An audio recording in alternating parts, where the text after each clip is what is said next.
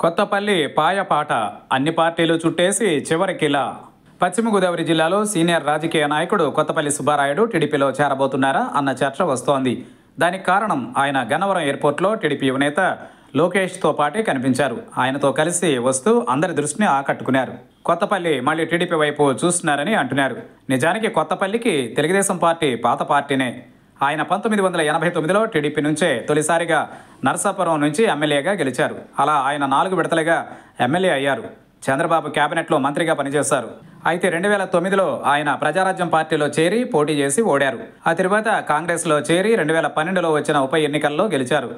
రెండు వేల పద్నాలుగు నాటికి వైసీపీలో చేరి నర్సాపురం నుంచి ఎమ్మెల్యేగా పోటీ చేసి ఓడారు. ఆ మీదట టీడీపీలో చేరి కాపు కార్పొరేషన్ చైర్మన్ పదవిని చేపట్టారు. రెండు వేల పంతొమ్మిది నాటికి వైసీపీలోకి వచ్చారు. ఇక కొంతకాలం క్రితం నరసాపురం ఎమ్మెల్యే ముదునూరి ప్రసాదరాజుతో వచ్చిన విభేదాల వల్ల వైసీపీని వీడారు. వచ్చే ఎన్నికలలో నరసాపురం నుంచి పోటీ చేసి గెలుస్తానని ఆయన చెబుతూ వస్తున్నారు.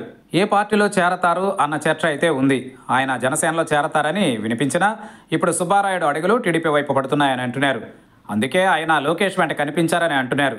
చంద్రబాబు అరెస్ట్ అయ్యాక కొత్తపల్లి గట్టిగానే రియాక్ట్ అయ్యారు. చంద్రబాబు అరెస్ట్ అక్రమం అంటూ నియోజకవర్గంలో ర్యాలీలు తీశారు. చంద్రబాబుని అరెస్టు చేసిన వైసీపీ సర్కార్ మీద నిప్పులు జరిగారు.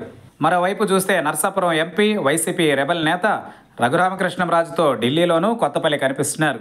దీనిని బట్టి చూస్తే ఆయన టీడీపీలో చేరి ఎమ్మెల్యేగా పోటీ చేయాలని అనుకుంటున్నట్లు తెలుస్తోంది అంటున్నారు. అయితే ఆయన పోటీ చేయాలనుకుంటున్న నర్సాపురం అసెంబ్లీ సీటు ఖాళీ అయితే లేదు. మాజీ ఎమ్మెల్యే బండారు మాధవనాయుడు అక్కడ టీడీపీ ఇన్ఛార్జ్గా ఉన్న పొత్తూరు రామరాజు టికెట్ రేస్లో ఉన్నారు. వీరిని కాదని కొత్తపల్లికి టికెట్ ఇస్తారా అంటే డౌటే అని అంటున్నారు. పైగా టీడీపీలో చేరి బయటకు వెళ్ళి ఇతర పార్టీలలో చేరిన కొత్తపల్లి కంటే పార్టీని నమ్ముకున్న వారికే చంద్రబాబు టికెట్ ఇస్తారని అంటున్నారు. అయితే కొత్తపల్లికి వేరే ఆప్షన్ లేదని అంటున్నారు. ఆయన పొత్తు లేకపోతే జనసేనలో చేరాలని అనుకున్నారు. కానీ పొత్తు టీడీపీతో ఆ పార్టీ పెట్టుకుంది. వైసీపీని వదిలేసి వచ్చారు. అలా పుష్కర కాలంగా ఎమ్మెల్యే కావాలని చూస్తూ మూడు పార్టీలు మారినా కొత్తపల్లికి చివరికి పాత పార్టీయే దిక్కవుతోందా అన్న చర్చ అయితే సాగుతోంది. చూడాలి మరి ఏం జరుగుతుందో.